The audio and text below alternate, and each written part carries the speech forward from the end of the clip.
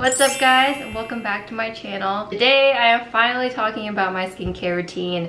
This has been a very long process to try to get to these core items I have now that I use every day and night. And I have been changing a few things out so I don't actually have an eye cream that I have in this routine because I recently switched eye creams and I'm still trying to figure out if that one works. So I didn't want to bring it up yet but I do use an eye cream. I just I'm still trying one out and don't mind this hair. I know it's looking a little gross but I'm experimenting so don't mind that. A little bit about my skincare background. I am a combination but I think I'm more towards the dry side. I have crazy unbelievable dry under eyes. It is like a really big thing and I'm really dry like around the outside and then I get oily like right here on my cheeks, on my nose, and a little bit on my forehead. This is my skin. I just did my skincare routine so that's why I'm looking kind of oily and not makeup. In a Korean skincare routine, you start with a double cleanse. So I still incorporate that in my routine, whether or not it's American or Korean. Um, I just found that I feel a lot better about it and I feel like my skin really likes it um, because I know that I'm taking my makeup off and then cleansing my skin rather than just doing it in one step. So uh, I've been, I've tried the Clinique Take Off the Day Cleansing Balm. I've tried the Farmacy Green Clean Cleansing Balm. I just had the E Nature Moringa Cleansing Balm from Soko Glam and now I am on to the Dermalogica Pre-Cleanse Balm. I think this one out of the four is my favorite just because one, the packaging is so much easier. I don't know, for jar jars for me is just kind of like a, takes a lot of time. You gotta scoop it out, put it on your hand, close the jar, put it back. It's just a lot of work, whereas this, I can just open it, squeeze it out, rub it all in. I think this is probably my favorite one out of the four. And I just really like this formula, I guess. It's really just simple. I know Dermalogica is a very dermatologist type brand, so all their products are really good. And I do actually have another Dermalogica item that I've been using. Um, this one doesn't give me the sting because I do use it to remove my eye makeup and it doesn't, has never stung my eyes. It's really, it doesn't have any scent or anything. It's just a simple cleansing balm, which I really like about it. It keeps me really hydrated after I use it and I don't know, I've just been really loving this. I feel like it was kind of expensive for the size you get. And I feel like I should be getting a little bit more, but I mean, it's been lasting me pretty long. I've only used about like this much of it. Um, I was using it both morning and night, but I've been switching to just nighttime for the double cleanse and just using a cleanser in the morning, even though I do have a lot of stuff on my skin when I wake up and I do want to take it all off. I just, this is so expensive, I don't want to use all of it up, so I've been only using this at night, but I will use a pretty decent size amount. I know you're supposed to only use like a pea size, but I use like three pea sizes because I just want to make sure it's all off. But this is a really great cleansing balm if you're looking for one. Not the most cheapest one on the market, but it's very effective and I do enjoy it. So the next part of the Double Cleanse is the actual water-based cleanser. So I have been really loving the Matcha Hemp Hydrating Cleanser from Krave Beauty. It's This is a, I don't know if she calls it a skincare line, but it's a line that a YouTuber made. I think her name is Liah Yu.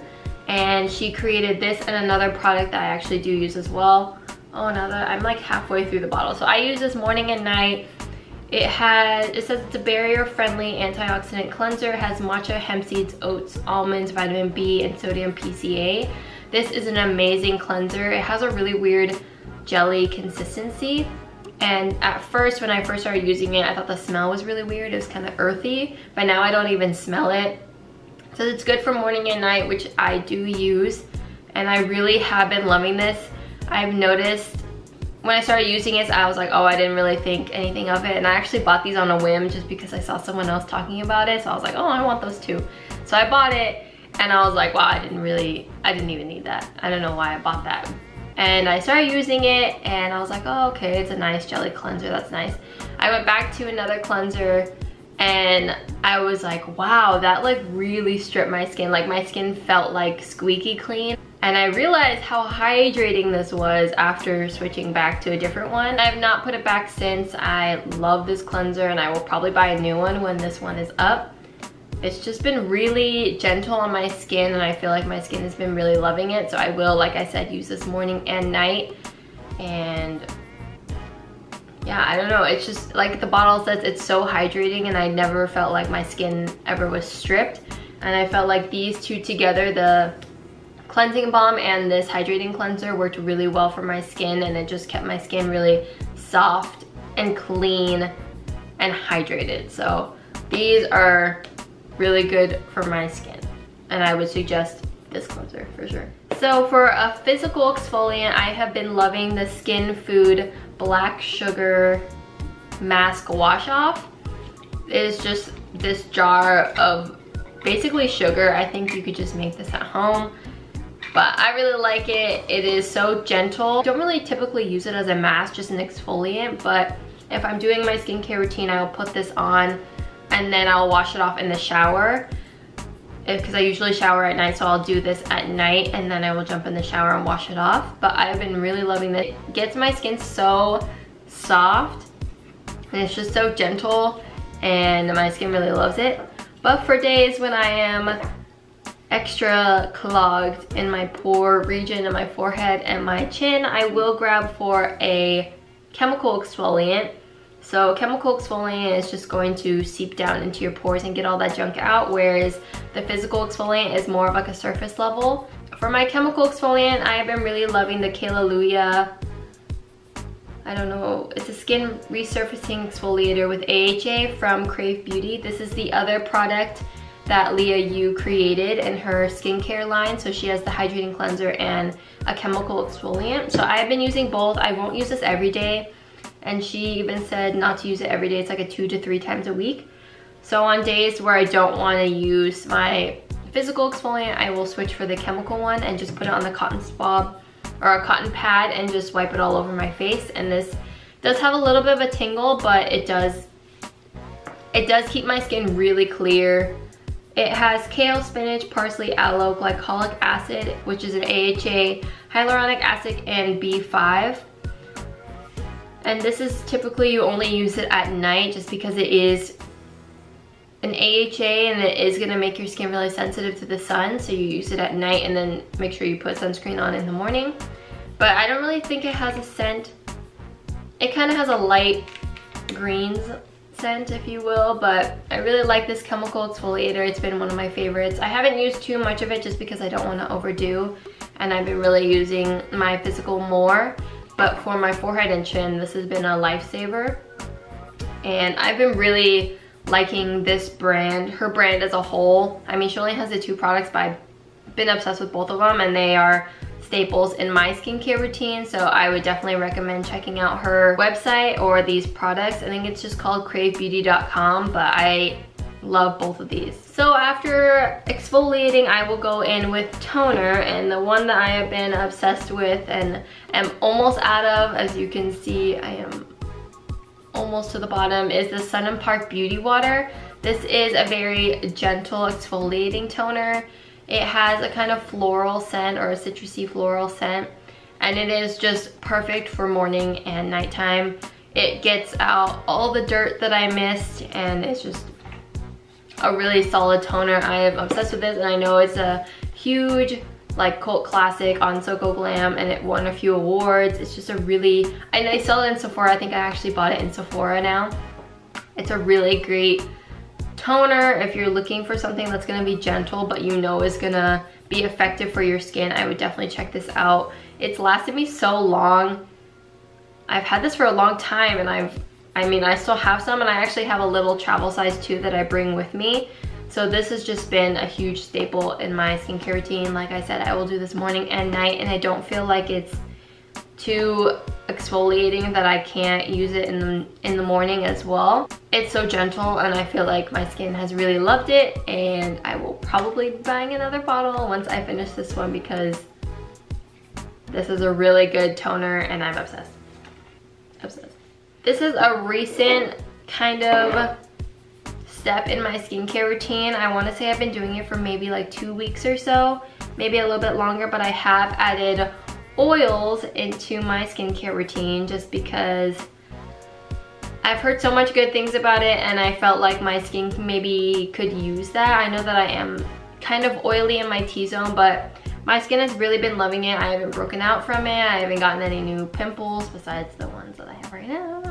So first off, I actually bought the Farsali Rose Gold Elixir a while ago actually because everyone was talking about it, everyone was so obsessed and I wanted to try it out and everyone said it was a really great primer so I was like okay I'll try it as a primer and I did and I hated it. It broke up my makeup and I was using a kind of water-based foundation so shame on me for trying that but I hated it. I did not like it. I thought it made me look ridiculous. And so I put it down forever, didn't touch it again. And then I got into, I started researching oils and which one would be best for me. And I wanted to try the rose hip seed oil from The Ordinary just because everyone was raving about it. And it was out of stock everywhere, I couldn't find it. And it finally got in stock on Sephora and I immediately bought it, put it in my cart, bought it. And I started using it and I really fell in love with it. I felt like it helped my skin texture a lot. My skin's been a lot softer and it has, it does help with like healing your skin barrier or anything that you have going on. So I feel like it has really helped. It has a very strong yellow tint as you can see. I don't know if you can see that. And it does make me pretty yellow initially, but I think it does go away and it's totally fine. I started using this and then I realized that the Farsali oil had rosehip seed oil in it. So then I picked this one back up again that was just sitting on my desk and I was like, you know what, maybe I'll try and use them together in skin in my skincare routine rather than in my makeup routine. And I fell in love. I actually will layer both of these because this one, they're very different, but I feel like they're very the same if that makes sense. I've actually been layering both of them, so I'll put this on one, this one on first, and I will put this one on top and mix it all together on my face. This one I'm actually almost out of. I might buy another one, but this one I still have so much of, so I'll probably just keep using this one until I run out. But I have really noticed a difference since I started using oils in my routine with my skin texture. My skin is just a lot more softer and I feel like it's really been helping when I do kind of pick at my skin.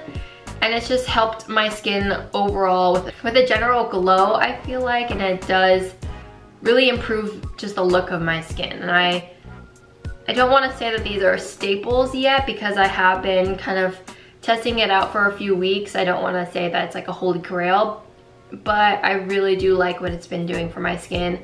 I saw a change instantly and I would definitely suggest trying rosehip seed oil if you're interested in anything like that. I trust The Ordinary brand. I have a lot of other things from The Ordinary, so I really wanted this one in particular. But I know they sell a lot of other oils that are similar. You just really have to check the ingredients. But I have been obsessed with this and I'm gonna continue to use it and I feel like it's really changed my skin. And then the last step is moisturizer, obviously, or if you're going out in the sun, it'd be moisturizer then sunscreen. But for now, I'm just gonna talk about moisturizer. And the one I've been using is the Dermalogica Calm Water Gel. I have been really loving this moisturizer. It's the exact same texture as the water cream from Tatcha.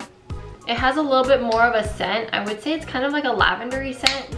It's from their ultra calming line, so I feel like it is for calming redness, which I do see a very big difference in my skin after I put it on because when I exfoliate and do all my other skincare steps, my skin is a little rosy and I feel like this really evens out my skin tone. And I love this for both day and night. It keeps me really hydrated and I just love the texture.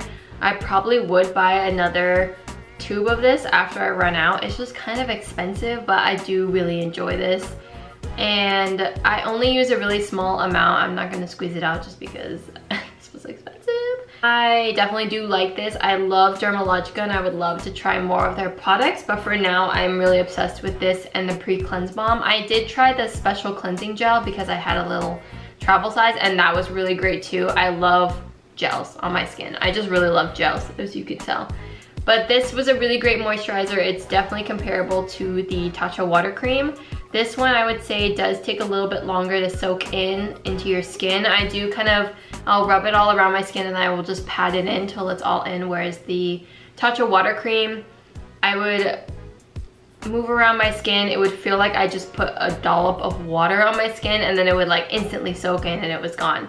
So this one takes a little bit longer to soak in, but that's not a really big deal for me. I do really like this and I'm going to finish up this bottle and maybe buy another one if I can't find something else that's cheaper.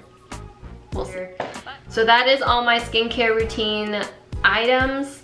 But in the morning when I am gonna go outside, I will put on SPF as everyone should every day. My mom always told me to wear sunscreen and I didn't listen to her until recently when everyone was talking about sunscreen and I do have a nice brown sunspot on my cheek. So, sorry mom.